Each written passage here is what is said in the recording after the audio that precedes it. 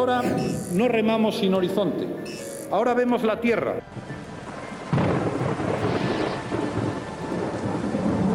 Estamos lejos, sí, pero la tierra está a la vista, con la esperanza cierta de poder lograr juntos todo lo que juntos nos habíamos propuesto. Bueno, el presidente del Gobierno, que hoy se ha puesto poético, enseguida vamos a ironizar un poquito con esas palabras de eh, Mariano Rajoy, con esas islas, esos mares que él vislumbra a los que estamos a punto de llegar. Eh, pero antes queremos hacer un pequeño paréntesis, antes también de hablar de una operación muy llamativa que hoy ha tenido lugar en toda España, eh, con agentes de la agencia tributaria entrando en oficinas financieras y precintando cajas de seguridad. Pero como les decía, el caso del asesinato de la niña Asunta Basterra ha incorporado novedades y que tienen que ver con declaraciones de los eh, padres, eh, de declaraciones que se habrían producido durante la detención de los dos, tanto de Charo Porto como de Basterra, del padre de la niña. Antes vamos a recordar la exclusiva que hoy publicaba La Voz de Galicia, en función de la cual se estaría investigando a una tercera persona que habría colaborado con el matrimonio para deshacerse del cuerpo de la niña una vez muerta más de un mes de pesquisas y los investigadores creen que han reunido pruebas concluyentes que inculparían a Rosario Porto y a Alfonso Basterra en la muerte de su hija. Por eso siguen en prisión, aunque la investigación ha dado un giro al apuntar ahora a la participación de una tercera persona, que habría ayudado a los progenitores a deshacerse del cuerpo de Asunta. La policía duda de que Rosario y Alfonso dejaran el cadáver antes de las diez y media de la noche del sábado 21 de septiembre, cuando se presentaron juntos en comisaría para denunciar su desaparición. Era una pista forestal bastante transitada. El cuerpo no se descubrió hasta la una y cuarto de la madrugada del domingo. Creen que en ese caso hubiese aparecido antes. Y tampoco creen que lo hicieran después de su paso por comisaría. Demasiado riesgo. Sabían que podían estar bajo vigilancia. Los investigadores creen que la niña muere con su madre en la casa de Teo y que una tercera persona, que ahora la Guardia Civil trata de identificar, podría haberse encargado de trasladar el cadáver mientras desde la prisión de Teixeiro, Alfonso Basterra habla de su estado como un medio local y defiende su inocencia. Para que te hagas una idea, esto es como un hostal barato. Mucho peor fueron los dos días que pasé en el cuartel de la Guardia Civil. Aquello sí que era para salir corriendo. Un espacio minúsculo, un catre, una manta y se acabó. Soy inocente por completo y no tengo absolutamente nada que ver con este caso. Lo voy a demostrar y voy a salir de aquí con la cabeza muy alta. Basterra va más allá y porfía también que su exmujer, con la que había mejorado su relación, no es culpable. En los últimos meses hubo entre nosotros un acercamiento y estábamos bien de nuevo. El cariño permanece. Solo te puedo decir que confío en su inocencia, que deseo con todas mis fuerzas que pueda salir de este embrollo y que, a pesar de no ser religioso, pido a diario para que sea así. El padre de Asunta clama contra el juicio de la calle y recuerda que él mismo advirtió a las profesoras del tratamiento de la niña. Toda esa gente indeseable que se concentró en la calle para gritarme, asesino, asesino, no soporto recordarlo. ¿Qué tienen contra mí? ¿Qué pruebas hay? ¿Qué hago yo aquí metido? Yo mismo avisé a las profesoras de que la niña tenía somnolencia. Sobre la compra de los ansiolíticos que supuestamente provocaron la sobredosis en Asunta, Basterra admite haberlos comprado para su mujer, pero niega que los tomara la niña. Si la niña tomó la superdosis de orfidal, habría salido ya de mi casa moribunda, y no es así. Se fue con su madre caminando con total normalidad. Sí, yo compré varias veces Orfidal, ni lo negué ni lo niego. Lo hice con recetas de la Seguridad Social y en una farmacia que tengo cerca de casa, sin ocultar nada. Si hubiese querido no dejar rastro, me hubiese ido a comprarlos a otra ciudad. Basterra está en prisión sin fianza, al igual que Rosario Porto, desde el pasado 27 de septiembre. Tercera persona supuestamente implicada en este mm, lamentabilísimo asunto, eh, exclusiva, como decía, que hoy publicaba eh, La Voz de Galicia y de la que mañana habrá más entregas. Eh, a ver si después podemos compartir la primera página de La Voz de mañana para que vean que efectivamente hay más novedades. Más novedades que tiene también que ver con una conversación que habría mantenido el matrimonio pocas horas después de ser detenidos. Una conversación que está en el punto de mira del abogado de Rosario Porto. Vamos a recordar qué habrían dicho, eh, según publicaba hoy un periódico de Madrid. Era una noche crucial tras la detención de su exmujer en la mañana del martes 24 de septiembre. El juez ordenó también detener al padre de Asunta. Fue el día 25 por la tarde. Habían pasado solo tres días de la aparición del cuerpo de la niña. Esa noche, la primera que los dos compartieron entre rejas, Vázquez Taín dio luz verde a una medida inusual. En vez de mantenerlos aislados, los dejó a solas en los calabozos de la Guardia Civil de Lonzas, en A Coruña, sin y sin ningún detenido más en la planta. La situación propicia para que se produjeran confesiones. Los únicos testigos, los micros. Tras un largo silencio y según desvela el diario El Mundo, Rosario les petó a Alfonso. Tú y tus jueguecitos. El padre de Asunta no respondió a la primera, así que ella le volvió a recriminar. ¿Te ha dado tiempo a deshacerte de eso? Ante la insistencia, Alfonso Basterra contestó en un tono más cauto. Calla, que a lo mejor nos están escuchando. Tal vez sospechando que podían estar siendo grabados, el padre de Asunta quiso terminar la conversación. Son apenas tres pinceladas, claves sin embargo para los responsables de la investigación. Alfonso Basterra pasó un día más en libertad y a Rosario podía interesarle la información que éste le aportara. De hecho, en esas 24 horas previas a su detención, pudimos verlo saliendo de la casa de su exmujer con varios enseres. El método ha enfadado mucho a la defensa de Rosario. Una declaración en un centro de detención obtenida de forma irregular, sin conocimiento de quién la hace y sin que esté presente un abogado, entiendo que es irregular cuando menos. Un procedimiento ordenado por un juez y que todo indica ha sido vital para cerrar más el círculo en torno a los padres de Asunta. Bueno, cosas que habrían sucedido durante la detención de eh, Rosario Porto y de Basterra, eh, una decisión judicial que habría tomado eh, el juez Taín, que por supuesto ya ha sido cuestionada por el abogado de Rosario Porto, no esperábamos otra cosa. Escuchamos una parte de su declaración, pero dijo más cosas. Hoy Gutiérrez Aranguren. Mm, Digo, desconozco exactamente si hay una resolución judicial que haya autorizado la práctica de esas escuchas, desconozco si esas escuchas en los términos en que están transcritas son ciertas y se corresponden con lo que realmente está grabado. Eh, ignoro, por supuesto, el contexto en el que se habría dicho. Eh, me quejo de que se estén filtrando solo noticias que sean contrarias a, para, digamos, aumentar el linchamiento moral y social, perjudicar el futuro juicio de cara a un jurado imparcial eh, y desde luego poner las cosas más difíciles para una persona que está padeciendo una privación de libertad en unas condiciones dramáticas, aunque vaya por delante, mi opinión todavía, digamos, no, no suficientemente fundada de que una persona eh, puede ser investigada por orden judicial sin su conocimiento, evidentemente cuando se sospecha de que puede estar eh, tramando un crimen o habiéndolo cometido en fechas recientes para, para descubrirlo, como es lógico. Eh, pero una vez que a alguien se le priva de libertad a través de una detención, se le tienen que leer los derechos y decirle que tiene derecho a no declarar y a la asistencia letrada, una declaración en un centro de detención obtenida de forma irregular, sin conocimiento de quién la hace y sin que esté presente un abogado, entiendo de que es irregular cuando menos. No se puede estar filtrando eh, parte de las diligencias en todo aquello que está perjudicando a mi cliente eh, y no dejar a mi cliente ni a su abogado, que en este caso soy yo, eh, saber por qué se le está privando de libertad, por qué se le está haciendo una imputación tan grave y por qué no se está investigando lo que se tiene que investigar. De la que yo sí tengo conocimiento por boca de Rosario y que tiene que ver con algo de no actual, sino de hace un tiempo, no se trató con un orfidal, se trató con un spray. Ella, ella, desde luego, mm, me dice que no tiene conocimiento de que se le haya dado orfidal ese día. Ella, desde luego, mantiene que ella no se lo dio. Y parece que las filtraciones apuntan a que habría sido un tercero. Y yo no quiero hacer ningún tipo de prejuicio, porque si me quejo de que lo hacen otros, no voy a ser yo quien los haga. Y, eh, bueno, eh, una persona eh, que perdió a su hija de la forma en que ella mm, lo hizo,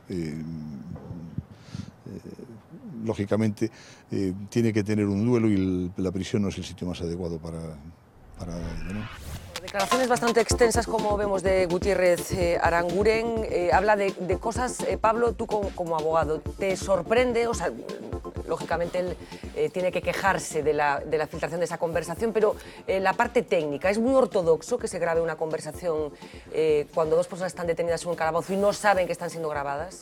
Hombre, no suele hacerse, no suele hacerse, pero está expresamente contemplado en la ley la interceptación de comunicaciones de- de imputados, ¿eh?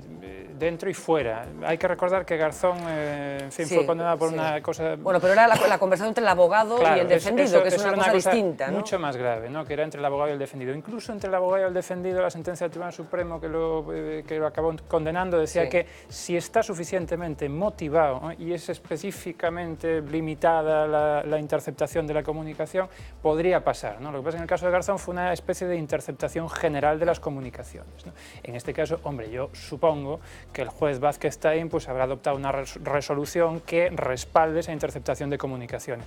Siendo así, sí puede, eh, cuando está justificado, pues en este caso para el eh, conocimiento de hechos que no están claros de la investigación y tal, y hay una eh, resolución motivada, pues sí está justificado y se puede hacer. Eh, recordemos que en esa conversación Rosario Porto le habría dicho a su marido tú y tus jueguecitos y poco después le habría dicho te ha dado tiempo a deshacerte de eso. Eh, inmediatamente él le habría combinado que se callara porque podrían estar siendo escuchados. Eh, una cuestión técnica nada más, eh, el abogado de Rosario Porto sigue hablando de su incapacidad para acceder al sumario porque sigue secreto. Pues es que el secreto de sumario se puede prorrogar eh, sucesivamente mientras existan motivos para prorrogarlo. ¿eh? Eh, no debe prorrogarse más allá del tiempo mínimo nece- imprescindible necesario para, digamos, fin- la, la finalidad de protección y de conservación de las pruebas y de, y de- y de impedir que se puedan alterar pruebas y este tipo de cosas que tiene como finalidad el secreto de sumario, pero se puede ir prorrogando. Entonces, en ese sentido, el abogado se queja con razón porque es su Claro. trabajo y su función quejarse, ¿no? Pero bueno, el secreto de sumario Claro. se puede ir prorrogando y es lo que se está haciendo. En algunos casos se prorroga, pero vamos, sine die. Hablaba eh, Miguel Anxo, eh, el abogado del linchamiento moral, eh, o que se está sometendo a, a súa defendida, ti como observador desto, non che vou pedir... Non abogado? Ni, no, no, no, pero que, o, sea, o, o tratamento que se está facendo deste caso, quero decir, que o, do, ah, no, claro, el falaba dun linchamento moral cara a súa defendida que está, vai contaminar... Eh... Está presulgado todo, xa. Bueno, digo desde fora sin ter ni idea de dereito, dicir, máis, máis que rudimentario. É unha persona que si, xa, non sin se levar inocente, desde logo queda moi moi dañada, xa se descubriu toda a vida dela, todo o que facía, os novios que tiña, se non tiña, todos os problemas que tiña familiar, claro, xa pobre da nos, pobre muller non, non sei si, si para o inocente, pero logo, como sei inocente, la leva clara. leva clara. En fin, el caso de la niña Asunta Basterra, que como ven parece que ha venido para quedarse con novedades prácticamente a diario. Vamos a cerrar este paréntesis y nos vamos a ir al Congreso de los Diputados, en donde hoy comparecía el presidente del Gobierno, Mariano Rajoy, que se vino absolutamente arriba. Saben que últimamente el Ejecutivo se ha empeñado en decirnos que las cosas van estupendamente bien, por lo menos en el aspecto macroeconómico, una doctrina que lógicamente se ha abonado el jefe del Ejecutivo, pero hoy le ha dado por la poesía. Vamos a verlo. Pero ya no será lo mismo, porque ahora no remamos sin horizonte. Ahora vemos la tierra. Ahora nos consta que vamos bien y por el buen camino. Estamos lejos, sí, pero la tierra está a la vista, alentándonos para que nuestro esfuerzo no decaiga con la esperanza cierta de poder lograr juntos todo lo que juntos nos habíamos propuesto. Bueno, una frase dicha por Mariano Rajoy, leída de verdad que parece un fragmento de La Isla del Tesoro, por ejemplo, eh, y con la mala idea que a veces nos caracteriza, pues hemos tratado de descontextualizar esas palabras de Mariano Rajoy y aplicárselas a algunas de las eh, escenas más míticas de la historia del cine. Así nos ha quedado. Porque ahora no remamos sin horizonte. Ahora vemos la tierra. Ahora nos consta que vamos bien y por el buen camino. Estamos lejos, sí, pero la tierra está a la vista, alentándonos para que nuestro esfuerzo no decaiga con la esperanza cierta de poder lograr juntos todo lo que juntos nos habíamos propuesto. No remamos sin horizonte. Ahora vemos la tierra. Ahora nos consta que vamos bien y por el buen camino. Estamos lejos, sí, pero la tierra está a la vista, alentándonos para que nuestro esfuerzo no decaiga.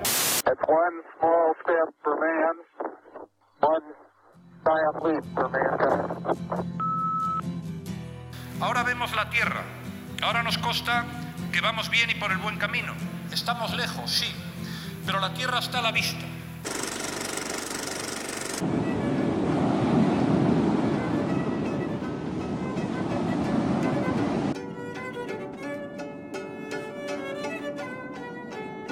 No remamos sin horizonte.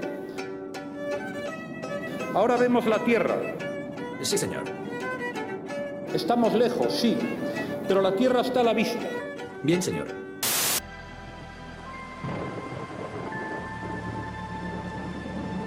Estamos lejos, sí, pero la tierra está a la vista, con la esperanza cierta de poder lograr juntos todo lo que juntos nos habíamos propuesto. Fin, una pequeña maldad con la tierra a la vista. El fondo del asunto, Julio, ¿está tan cerca la tierra? ¿Está a la vista la tierra? Hombre, yo creo que las cosas le eh, están empezando a ir a algunas cosas eh, eh, sustancialmente mejor, ¿no? Tan bien como para que no tenemos justo ese- esas declaraciones de Luis de Guindos, pero esta tarde el ministro de Economía ha dicho en el Congreso que estamos perdiendo el miedo a perder el empleo. No, hombre, yo creo que no, que hasta ahí no llegan las Hasta cosas. ahí no llegan las cosas. Es decir, yo creo que hay, eh, eh, hay síntomas de que esto está empezando a, a- hombre, que está empezando a mejorar, que no es lo que es lo que teníamos, por ejemplo, en, ju- en junio, eh, junio, julio del año 2011, ¿no? O, o incluso del año 2012. ¿eh? Es decir, así digamos una, o sea, un listado rápido. Ha mejorado sustancialmente la bolsa, ha mejorado sustancialmente la prima de riesgo, eh, prácticamente ha desaparecido la inflación, ¿eh? que ese es un tema enormemente peligroso, aunque no, eh, aunque la gente se fija más. en Más la que desaparecer, se va- en- estamos casi en deflación en estos Eh, momentos. no, no, yo no diría eso, pero vamos, hay una inflación, digamos, eh, pues, eh, de un 1%, digamos, eh, 1% anual como mucho, ¿eh? o incluso menos, ¿no? Eh, está habiendo, digamos, un acceso eh, al crédito por parte de las grandes empresas, de las pymes todavía no, ¿eh? pero lo normal es que sean las grandes empresas, por ejemplo Telefónica, Repsol, Endesa, las que accedan al crédito y pasados unos meses, yo no sé cuántos, pero que también empiecen a acceder las pymes. Y después resulta que, tenemos otra noticia, que es una buena noticia, de que la economía creció en el tercer trimestre frente al trimestre anterior un 0,1, que interrumpe una serie de crecimientos negativos de prácticamente nueve trimestres. ¿no? Yo creo que esto, eh, esto no es lo que era. ¿eh? Eh, ha cambiado sustancialmente y ha cambiado a mejor. Ahora, sigue habiendo eh, 6 millones de parados, Claro. se han perdido 4 millones y medio de empleos, que no se ha generado prácticamente ni uno nuevo. Ahora, ese sería, digamos, lo que nos queda de atrás. ¿no? Miguel Ancho, esto ya no es lo que era, dice Julio, en el buen sentido de la palabra. Julio ten razón, pero que pasa que es máis pesimista que él. A bolsa sube porque hai inyeccións monetarias de dinero que, que, que se refuxian na bolsa, Sí, sí. básicamente. Y, Pero y- vienen y- a la bolsa española. Sí, vienen a- ¿eh? vienen a toda la bolsa Eh, porque- cuando antes había inyecciones también y no venían. Sí, ¿no? pero Yo creo que eso es, eso es refugiando- estás positivo. infa- Pode ser que se está inflando unha burbulla. prima de risco está baixa por un motivo, claro, porque os bonos sin, os bonos siguen sostidos. Sí, sí. Decir, siguen sostidos por Draghi. Se Draghi retirar o apoio, veríamos, veríamos cual era a prima de risco. Sí. A inflación, o que me extraña é que en unha crisis de cabalo como esta que haya inflación, tiña que haber unha deflación de cabalo. Tiene que estar caindo os precios un 10 ou un 15% por a caída da demanda, por un montón de cosas que tienen que estar caindo os precios. E así suben, eso demostra que, está, que hai unha inflación subyacente. No, no, lo que ocurre, digamos, aún lo estoy viendo hoy por la tarde, ¿eh? Eh, los precios eh, se incrementan en España porque incrementan eh, los impuestos que graban eh, los productos de consumo. Sí, pero todos Eh, precios- es decir, todos os es precios el tema de la pueden subir. gasolina. Es decir, si tú coges los precios eh, a impuestos Y le sacas el efecto constantes, subida de impuestos, no- no están subiendo. eh, desde el año 2011 hasta, eh, hasta ahora, desde el año 2011, estamos hablando de eh, 4 por 3, 12 trimestres, eh, han crecido un 2% en total, que es enormemente bajo. ¿eh? Los que economistas sois súper raros, que habláis en trimestres en lugar de en años. Sí, sí, porque esto, mira, eh, eh, aquí el largo plazo es un año, No, el pues muy sí, largo veo, plazo.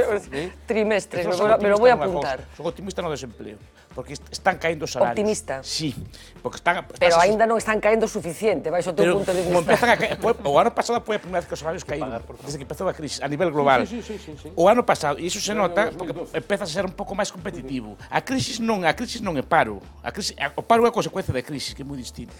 Entón, o, o, o paro non vai solucionar a crise no sentido que vamos a seguir sendo máis pobre, pero por menos a xente estará traballando. Uh -huh. Decir, se trata de evitar, se trata de evitar que por menos a xente esa situación de miseria que hai, porque se dan porque moitas familias non hai, hai están todas as persoas no paro ou unha delas e o salario moi baixo. Por menos se están todas as persoas traballando, vai haber algo de ingreso bueno, esas casas. Eh... Oso si, non vai ser o nivel de antes. Eso é a crise. Quero dicir, se antes unha familia ganaba, por exemplo, 2.000 euros, agora que, se, que conte 1.400, 1.500. Eso é a crise. Pero a crise non ten por que necesariamente implicar paro.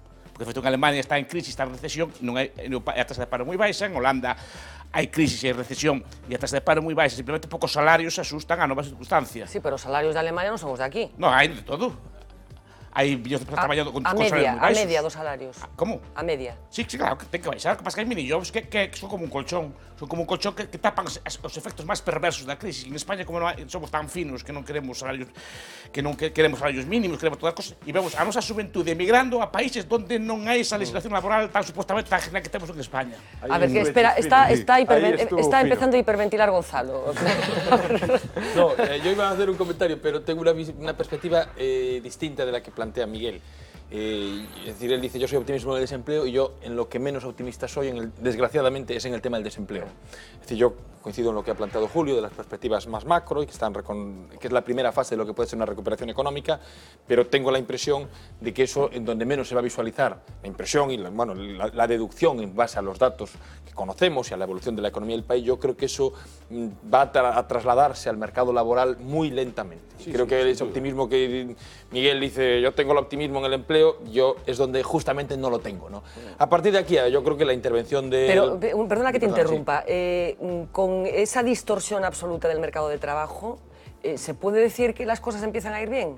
O sea, ¿no contamina todos los análisis que se puedan hacer A el ver, hecho de que tengamos una tasa de paro eh, de esa envergadura? No, yo creo que la, real- la realidad es muy compleja y lo que tenemos es que entender que si alguien solamente quiere un titular eh, de que pueda eh, reducir to- todas las variables en juego a un solo contenido, pues estamos siendo muy imperfectos y por tanto tenemos que contextualizar lo que queremos decir y trasladar la complejidad que tiene la economía para que los ciudadanos sepan cómo es realmente la situación. Y la situación es una situación en la cual en la perspectiva macroeconómica, pues las cosas han dejado de empeorar, digámoslo así, aunque el trimestre ya tenga un 0,1, que hoy creo que ha sido, hoy el, el INE Sí, sí, se ha ratificado Sí, sí, el sí. 0,1 que Sí. medía el Banco de España, se decía si iba a ser una décima o dos. En todo caso, que también la gente tenga claramente que las- la contabilidad nacional eh, no tiene la perfección milimétrica de cuantificar una décima arriba o abajo con total precisión en todo momento. Es decir, que una 0,1 o un 0, pues claro que tiene su importancia, pero a efectos reales pues puede haber un efecto de medición o de dificultad Sí, sí, sí, no, que es- no estamos viendo que haya crecimiento ni nada similar. Es un En- cero, yo coincidía en esa línea general de cómo está el escenario, creo que lo hemos dicho y tal. Yo, más que para no volver a caer en lo que Sí, he contado muchas veces, sí. sí quería hacer una referencia a la intervención del presidente, que yo creo que ha sido una, Sí. una cosa ridícula.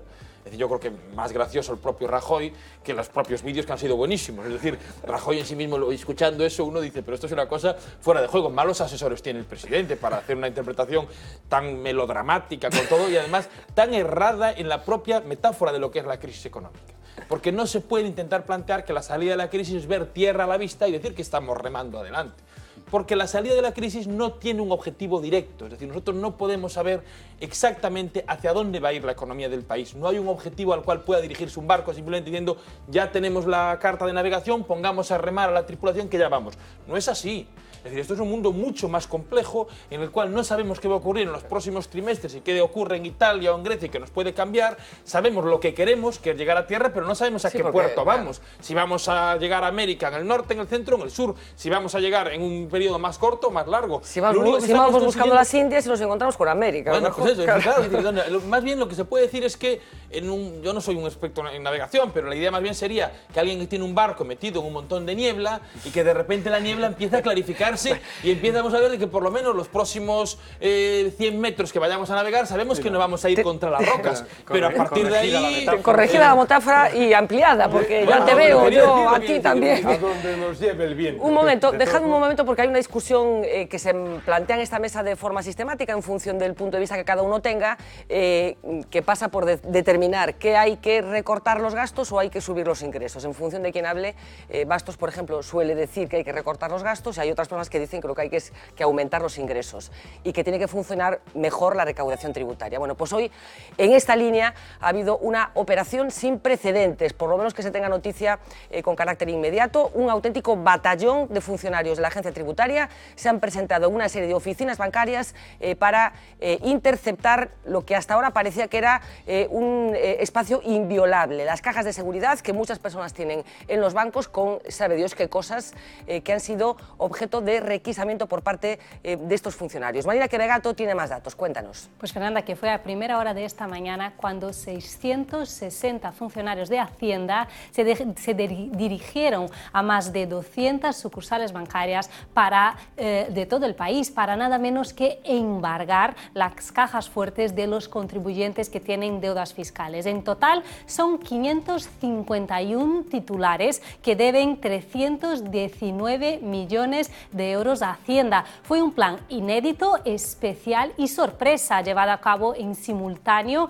en todo el país. Ahora que las 542 cajas fuertes ya están embargadas y precintadas, toca notificar a los deudores y posteriormente, por supuesto, abrir esas cajas. El objetivo, pues detectar a las personas que no habiendo cumplido con sus obligaciones fiscales y sin bienes conocidos, tienen cajas de seguridad con dinero en efectivo, joyas u otros bienes muebles que no están declarados. En el caso de que eso se confirme, sus bienes serán confiscados. Fernanda. Pues muchísimas gracias, Marina. Sorprendente operación de la agencia tributaria, ¿no, Pablo? Eh, absolutamente sorprendente, yo nunca tal cosa he visto. La verdad es que últimamente la, la agencia tributaria está recalentada, es una cosa tremenda, ¿no? Se tira por todo, yo- en fin, eso es así, ¿no? Pero claro, ya Bueno, a por podía las- tirarse por algunos un poco más. ¿eh? Claro, claro, se tira por lo, a- como siempre a por los de abajo, ¿no? a por los que se tenía que tirar, nunca se tira y sigue sin tirarse. Pero en este caso concreto, hombre, cajas de seguridad, pues ahí hay un tema mm, claro de, de, de- de derecho a la intimidad ¿no? y, de, y de un derecho que está constitucionalmente protegido. Que puedan precintar las cajas de seguridad por la información. Parece pa- lo que han hecho. Parece sí. que lo están no, no haciendo. enter- No, no abrieron las cajas. Claro, lo que vayan a hacer después, yo desde luego niego que por las bravas puedan abrir las cajas de seguridad, ¿eh? sin una orden judicial eh, muy específica y por un- por- con una finalidad muy concreta, y que no puede ser además tan sencilla como ver lo que hay dentro, a ver si consiguen eh, eh, recaudar. ¿no? Entonces, a lo mejor lo que pretenden es precintar esas cajas de seguridad para generar Negociar. una molestia en el contribuyente y decirle, mira, yo no te dejo abrir la caja de seguridad durante los próximos 25 años si no llegamos a un acuerdo de algún tipo, si no pagas más, si no me das parte de la deuda, no sé, algo así.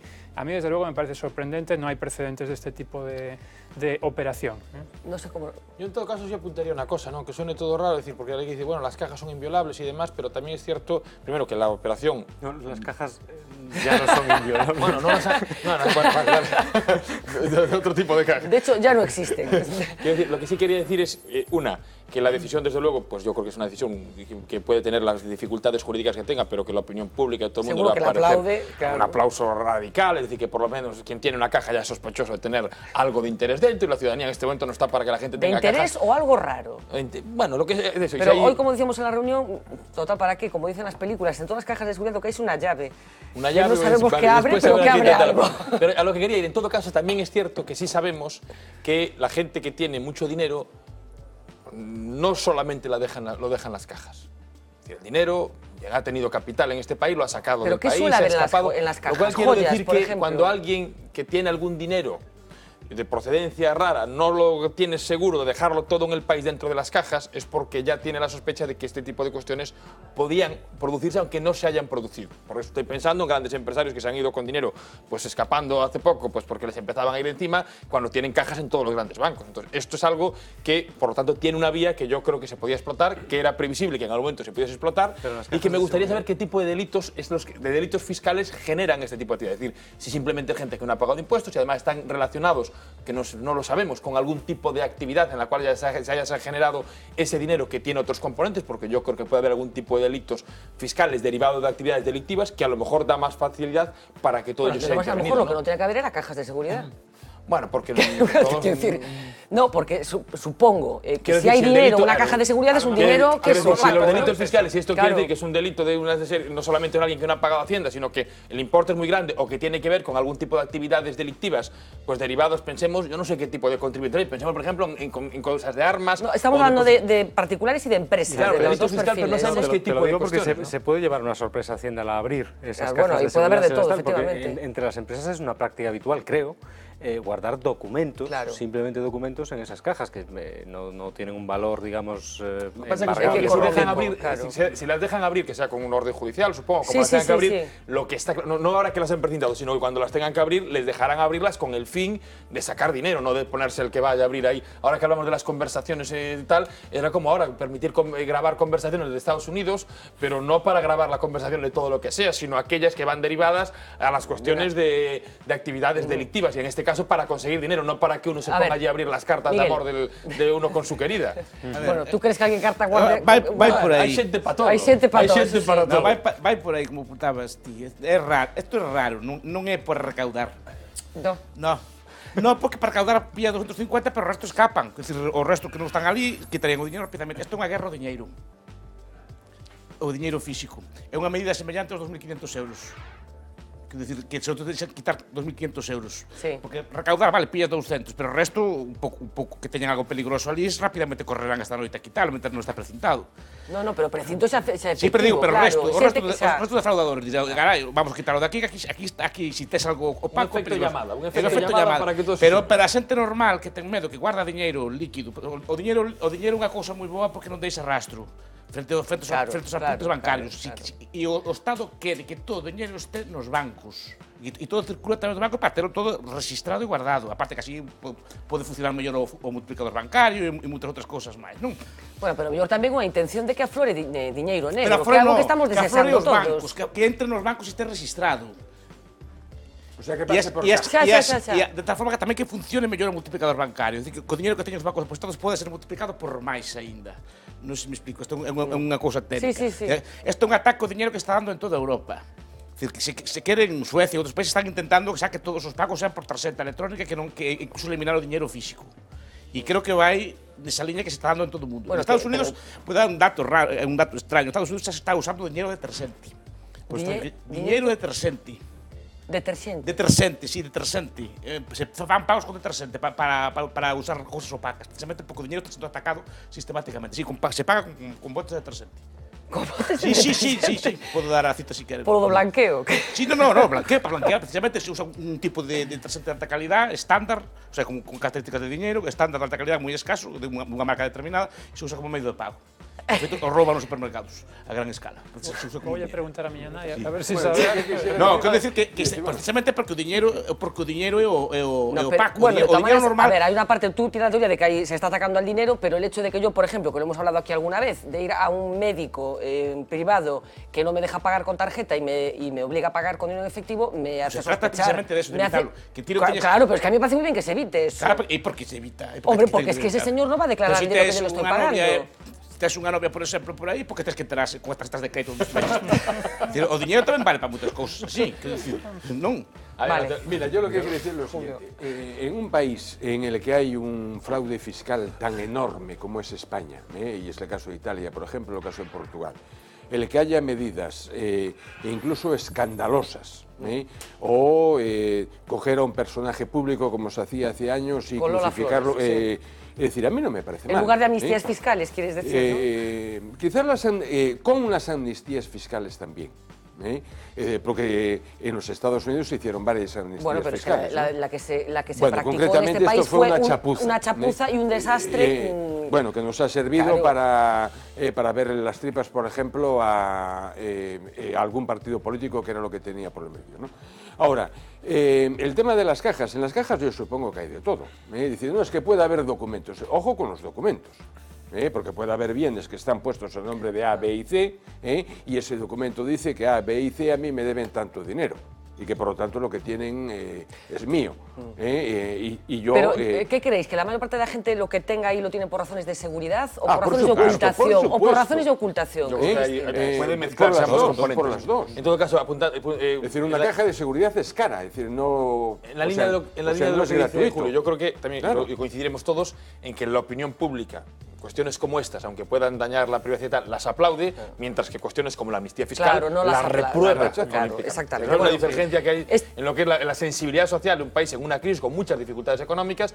La gente no entiende que, aunque pueda ser económicamente eficiente para que aflore dinero, la gente no entiende que se puede perdonar al que defrauda y sospechando que el que tiene mucho, pues que se le vigile o que se le controle o que tenga que abrir las cajas y enseñar lo que hay, pues en este momento que está viendo el país, la opinión pública le parece adecuado. Aunque pueda. Una cosa, es decir, el, el- el país eh, que encabeza el ranking de ocultación fiscal y tal, que es España dentro, dentro de Europa, es normal que, como ocurre con el tráfico cuando hay muchos accidentes, haga medidas ejemplarizantes y tal. Ahora, también es cierto que Hacienda, y lo decía creo que Pablo, eh, debería eh, empezar eh, a hacer ejemplos eh, por arriba y no por Pero estos abajo, porque hay por- demasiados estos, ejemplos. estos deben de ser por por arriba, ¿eh? por porque abajo, estamos, incluso. claro, Ojalá, ojalá, no, ojalá. no, hagamos la cuenta más o menos del número de, de- millones, el número de eh, que se millones que de se busca, exactamente. 500 Bueno. O sea, esta- una, a ver, eh, espera, que tenemos efectividad medida, incluso para esto que, para que decides vos, Gonzalo y Julio, de, de, de, de intentar que eso, que la gente lo aplaude. La gente lo aplaude, pero eso, eso non va a recaudar nada, porque inmediatamente toda persona que teña unha suma fuerte nada, vai estar fora de España ou vai estar fora do sistema bancario. bueno, de momento recaudamos 5 Ya, ya, céntimos. Recaudan Todos 200, los pero que han 200 é unha cosa, pillado, a los unha han cifra ridícula. É dicir, a, a, a todos os efectos. É dicir,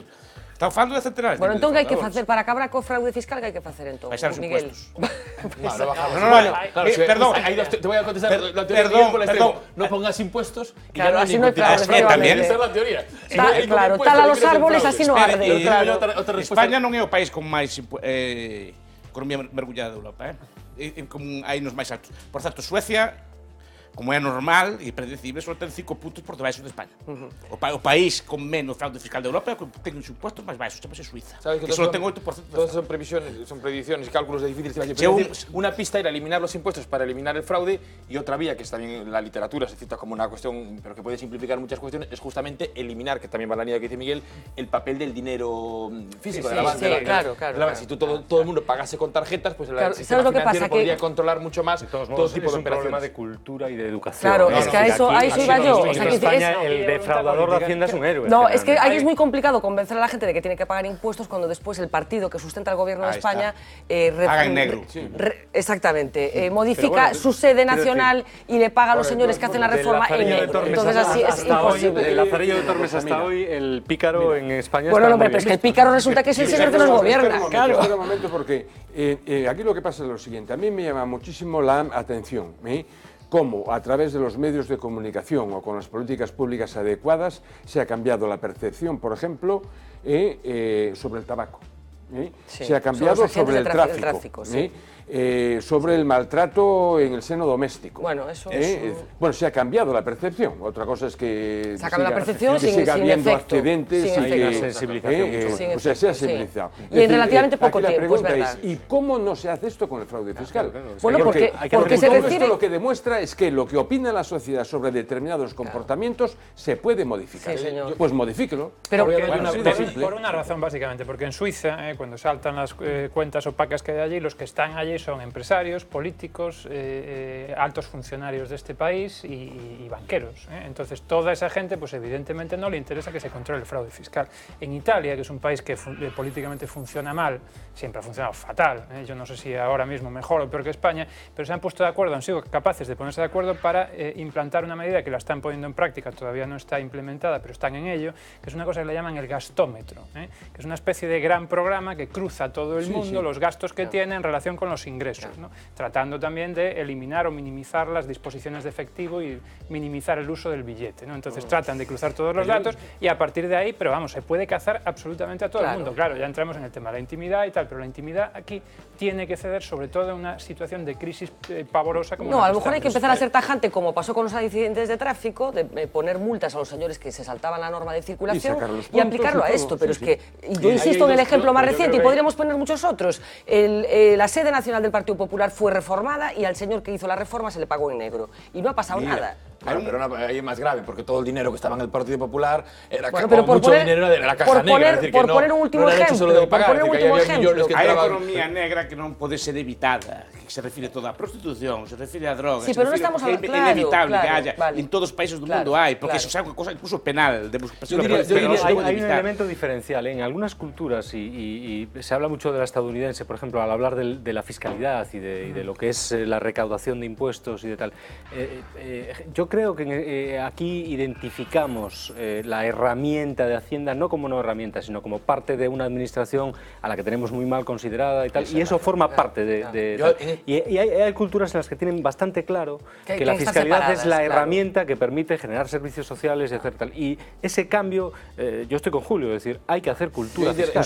hay que hacer para, cultura fiscal. Para completar, eh, simplemente Sí. una, eh, yo creo que ese argumento es muy importante. Es decir, la situación, podríamos argumentar muchas cuestiones, pero la situación que se da en España de percepción del fraude fiscal y de los hábitos sociales vienen derivados, yo creo que por dos cuestiones fundamentales. Uno, por eh, la poca historia del país de cultura de pagar impuestos, y por ejemplo impuesto de la renta o impuesto de valor añadido, porque realmente la primera eh, reforma fuerte que introduce conceptos tributarios y figuras tributarias que en Europa ya existían, se produce en la época de la transición. Es decir, el franquismo decidió no aplicar... fue Ordóñez. Eh, Ordóñez, claro, sí, Sí, sí. toda la etapa de, de la transición. El franquismo decidía no aplicar impuestos porque creía que tenía una quiescencia social basada en un equilibrio bajo, de no tener un papel del Estado público, del sector público muy importante, y eso se hace, por tanto, desde los años 70, con lo cual estamos hablando de cuatro décadas en las cuales se han empezado a pagar impuestos y, por tanto, la trayectoria de cultura fiscal es más baja. Y en segundo lugar, la sociedad española se ha caracterizado también por un ni- nivel muy importante desde la transición de desafección con la vida política.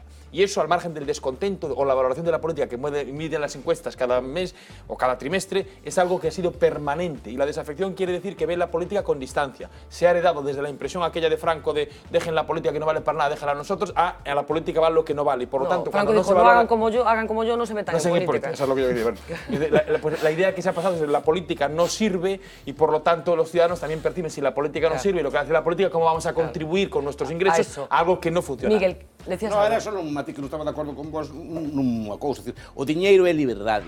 E liberdade de facer a vida sí, que quer. E non ten, non ten, claro. no, diñeiro no sentido que non físico, decir, que non teño por que dar registro de todo o que fago. Eu podo querer ter unha mantida, por exemplo. Non? E non No, pero, ten por que pero ninguén. ter, ter, No, no, non, no, non porque é queda obligatorio, non é obligatorio meter os cartos eh, Pero nun banco, que non non, que- as transferencias o que tens que demostrar é onde saen eses cartos. No, pero que é igual, pero, pero non teño por que darse ni miña muller se teño unha mantida, non teño por que enterarse nadie. Non, ningún de moi facendo. preocupado por ese tema. No, é un exemplo, non é que non teño nada. Pero pero me preocupará, a mí me preocupa, sí. que- si los puedo ter un fillo sabe. Obama todo.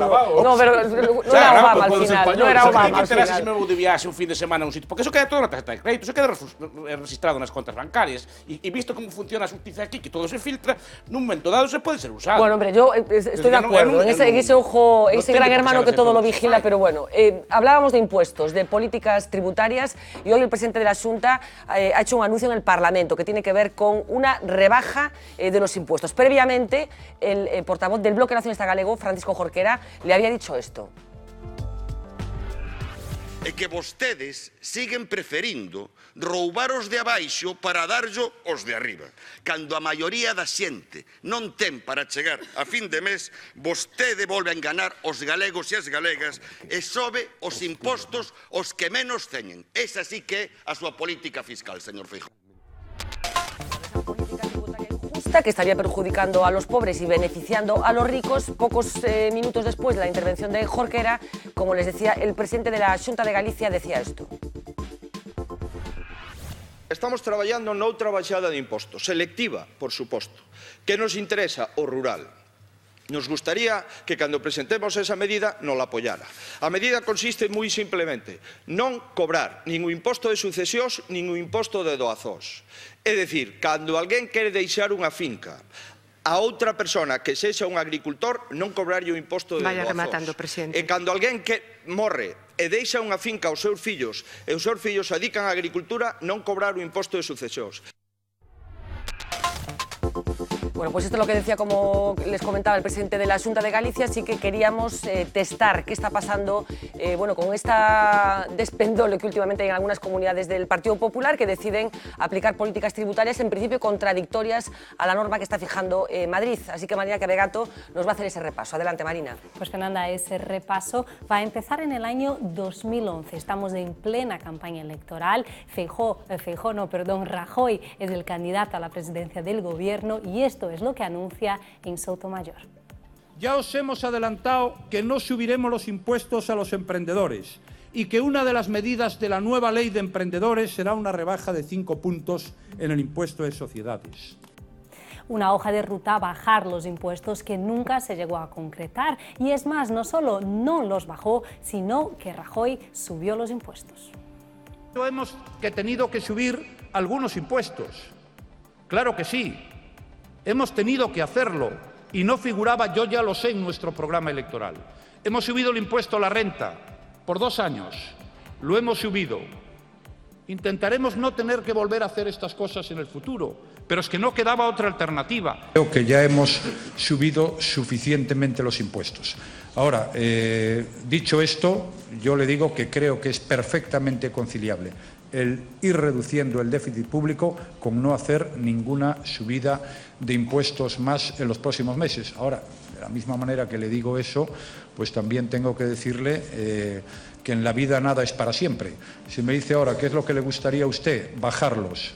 No lo veo probable en los próximos meses, pero sí lo veo en el futuro y esta incerteza sobre el futuro de los impuestos le empieza a pasar factura a las comunidades autónomas gobernadas por el Partido Popular, aunque el primer rebelde no es un presidente autonómico, sino un expresidente del gobierno, es José María Aznar.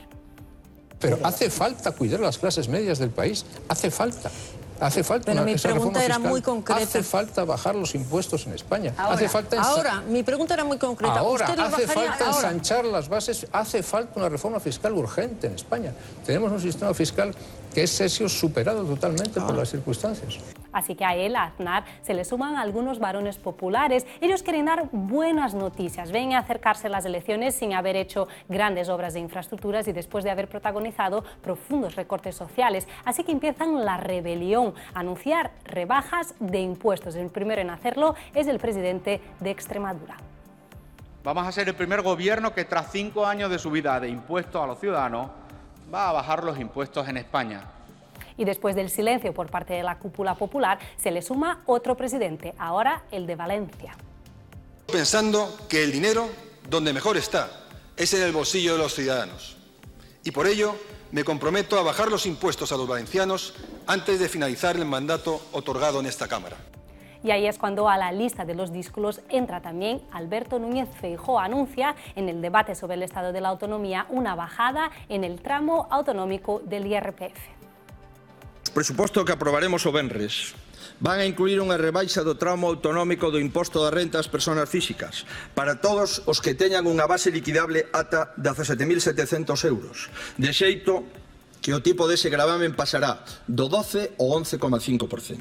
Beneficiará a 7 de cada 10 galegos. Así que lo primero que hemos hecho ha sido coger la calculadora y llegamos a la cifra de 85 euros al año. Ese será el máximo ahorro al que pueda alcanzar la medida anunciada por Feijó. Pero seguimos porque el siguiente en dar un paso adelante fue Ignacio González. Y hoy aquí quiero anunciarles que en el presupuesto que mañana aprobará el Consejo de Gobierno de la Comunidad de Madrid se incluirá una importante rebaja de impuestos para dar cumplimiento a dicho compromiso. Esto ya parece una competición porque de Madrid volvemos a Galicia. Hoy Feijó vuelve a la carga, ya lo contabais en el programa, no cobrará el impuesto de sucesiones ni de donaciones en el rural gallego, una medida una vez más criticada por favorecer sobre todo a las rentas altas. En total ya son cuatro las comunidades rebeldes del PP, rebeldes aunque sigan el programa electoral con el que se presentó su partido a las elecciones y aunque se estén adelantando a lo que Rajoy asegura que será su medida estrella para el 2014. Y yo vendré aquí, dentro de un año, a Sotomayor, a anunciar una bajada de los impuestos. Así que Fernanda, estamos a la espera para saber si esta promesa se cumplirá o no. Efectivamente, a ver qué hace. Eh, Miguel, Eh, decisiones irrelevantes eh, para la galería, eh, furto no, de la convicción... A decisión é relevante e creo que vai no bo camiño, porque debía tenderar toda a imposta de sucesións. O imposto de sucesións me parte dos impostos máis penosos que existen e dos que máis daño fan á sociedade. A diferencia do que pensa xente. Un imposto é envidia, un, un, un, un imposto ao aforrador, que, que aforra toda a súa vida para para pa conseguir que eu gasto dinheiro en vida, non, non que o gasto, non que o non que o non que o aforro ao final da súa vida, senón que empeza a gastalo. Unha cousa máis, unha persona que teña que vivir, por moitas viúdas que conozco eu, entre así, que ten que pagar para seguir vivindo na casa no que está. No, que tienen eh, que vender incluso su propia vivienda para seguir viviendo, para, para pagar, para liquidar Eso, los Con respecto al anunciado hoy con Feijo, pero en general es esa, ilegal, entre claro. comillas, estampida que están por Y acaba de verse, ahora que se publicaron os datos, que os impostos altos non recaudan máis. En Cataluña ten un imposto de sucesión moi alto, un imposto de transmisións xurídicas documentadas moi alto, e recaudan menos que Madrid con, con tipos marginales moi baixos, con, moi baixos, de un por cento, de un pouco por cento, e recaudan máis Madrid. Digo, po- porque ao final non, moitas, moitas eh, eh, herdanzas non se liquidan, para non pagar o imposto, e moitas cosas que fan así. Ao final recaudas máis e se cobras pouco. Pablo, ¿cómo lo ves tú? Esta estampida, entre comillas, de varones del Partido Popular contra, en principio, los criterios de Mariano Rajoy, o cumpliendo el programa que Mariano Rajoy no está cumpliendo. Hombre, en primer lugar, Mariano Rajoy eh, vino a prometer una serie de cosas que no ha cumplido ni la primera. ¿no? Dijo una serie de, hizo una serie de promesas económicas que se las ha pasado todas por el arco del triunfo. Respecto a la cuestión de los impuestos, pues ha subido impuestos eh, de forma sustancial y sobre todo esos impuestos que afectan a la, a la generalidad, ¿no? es decir, de- de los impuestos indirectos y los impuestos que están más vinculados al consumo muchas veces. ¿no? Eh, pero hay, aquí hay una cuestión de corresponsabilidad fiscal entre las comunidades autónomas y el Estado. ¿no? Yo a día de hoy no sé el dato exacto, pero sigue siendo veri- verdad que la mayor parte de los ingresos de las comunidades autónomas proceden de transferencias de impuestos recaudados por el Estado. ¿no? Entonces, básicamente lo que hacen las comunidades autónomas con este tema en este momento, los del PP, pues son gestos de cara a la galería. ¿no? Entonces, porque, porque realmente las competencias que tienen, que son más, eh, se han incrementado, se han ido incrementando con el paso del tiempo, pero son relativamente escasas con respecto al grueso al- de la recaudación. total. Entonces, claro, por un lado dices, oye, yo bajo los impuestos, pero es que por el otro lado tu propio partido, que está a nivel central, te está haciendo transferencias a base de subir impuestos desde, Claro. desde, desde el centro. Julio, muy brevemente, por favor.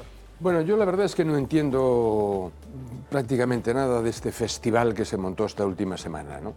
Es decir, por una parte eh, eh, están los políticos, digamos, eh, eh, exigiéndole a los ciudadanos recortes en educación, en sanidad, incluso en las propias pensiones, y por otra parte están anunciando recortes de impuestos. Es decir, a mí que me expliquen qué es lo que van a hacer aquí, ¿no?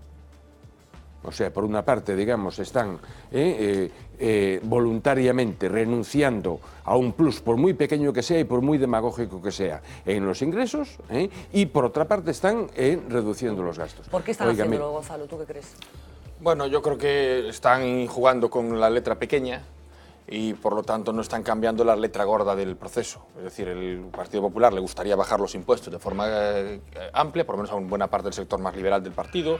Eh, pensemos desde Aznar hasta Aguirre y los núcleos más liberales. Por ejemplo, en la Comunidad de Madrid lo han aplicado ya desde hace tiempo, no en estos últimos años, sino incluso con el impuesto de sucesiones, bonificando el 99%, y de donaciones, y por tanto tienen ahí, ciertas eh, claves. Yo tengo una perspectiva muy distinta, yo lo he trasladado aquí. Yo creo que es cierto que hay que tener en cuenta que una carga impositiva excesiva puede suponer una, des- una falta de, eh, de dinamismo de la actividad económica y puede, superar, puede generar una carga ineficiente, pero yo tengo una impresión ideológicamente distinta. Yo creo que en un momento como en el que estamos, los que tenemos la oportunidad de estar trabajando, tenemos que pagar impuestos y pagar bastantes impuestos para conseguir contribuir a mecanismos de un estado del bienestar que Claro. no podemos dejar languidecer. Y lo tenemos que hacer por el bien de los que no tienen, pero por el bien de los que también tienen, porque una sociedad, una- un estado de bienestar permite cohesionar la sociedad y permitirá generar un futuro con mayor educación, con mayor sanidad, que es la sociedad en la que queremos desarrollar a nuestros hijos. Pero después existen SICAPs, ¿no? Claro, esa es buena parte. En esa línea te voy a contar un ejemplo. Por ejemplo, el impuesto de sucesiones y donaciones. Voy- Lo de los ICAP, que es Sí. algo que eliminar. Pero te cuento, claro, el problema se ha debatido mucho lo del impuesto de sucesiones y donaciones. Para dar una pincelada. Es cierto que en algunos casos, como contaba Miguel, puede ser algo terriblemente gravoso e injusto socialmente, porque puede tener ciertas aplicaciones injustas. Pero también es, es cierto que el impuesto de sucesiones y donaciones permite que, eh, contribuir a que todo el mundo en el punto de partida pueda ten- tener un punto de partida similar. Y es cierto que alguna gente ha defendido que se eliminen el impuesto de sucesiones y donaciones porque las grandes fortunas tienen mil mecanismos para escaparse de pagar las sucesiones y las donaciones, no como las personas físicas corrientes. Y por lo tanto también a veces hay, un, hay un- un- una cierta desigualdad haciendo que los ciudadanos normales de clase media además paguen su impuesto de sucesiones y donaciones y los grandes patrimonios escapen por otras vías. En cualquier caso, la fiscalidad eh, eh, también es una eh, herramienta para solucionar algunos problemas. Es decir, yo no creo que el eje central de una medida fiscal como la que hoy anuncia el presidente de la Junta sea recaudar más o recaudar menos. Sobre, es decir, eh, está utilizando una herramienta que es la fiscalidad para poner en valor, para utilizar terrenos que de otra forma probablemente no se utilizarían y están en una zona rural eh, a especial cuidado.